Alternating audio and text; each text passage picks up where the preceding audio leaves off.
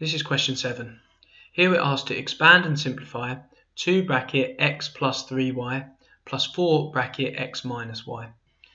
First thing that I'm going to do to answer this question is I'm going to start by expanding these brackets.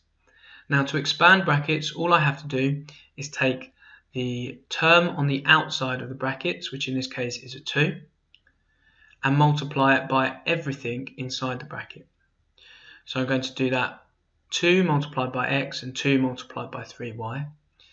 And that is going to give me 2x, 2 multiplied by x for 2x, and 2 multiplied by 3y, and that's going to give me 6y.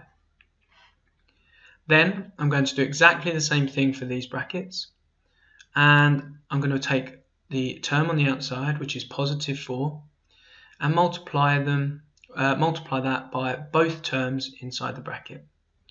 So positive 4 multiplied by x is going to give me positive 4x.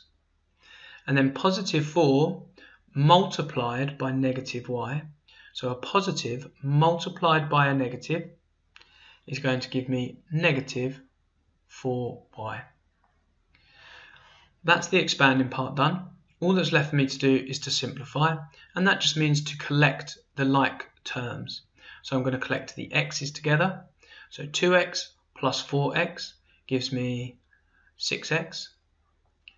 And then 6y minus 4y, that's going to give me 2y. So the expanding part is there, the simplified version is there. Part B, I'm asked to factorise completely 8p minus 12pq. So this word factorise, all that that means is to put this expression back into brackets we can think of this as almost being the reverse of expanding. So to do this, what I'm going to do is I'm going to start by finding the highest common factor of my expression. And the way that I'm going to do this, I'm going to look at the numbers first. So I've got 8 and 12. What's the highest common factor of 8 and 12? I can say that that is 4. And then if I look at the letters in each term, I can see that I've got a P in both of them. So they both have P in common. So I can add that to my highest common factor. So my highest common factor I can say is 4P. And then that's going to go on the outside of the brackets. Remember that we said to factorize is to take an expression and put it back into brackets.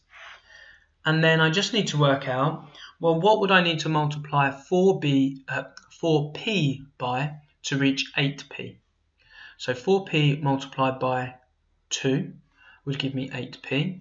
And then 4p multiplied by what will give me negative 12pq.